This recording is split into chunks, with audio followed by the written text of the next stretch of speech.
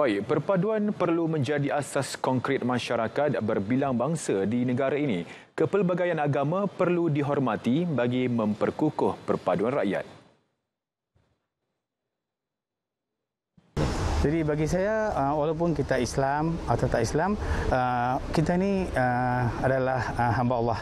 Jadi kita ni adalah insan. Kita mesti saling menghormati apalagi atas dasar kerajaan perpaduan.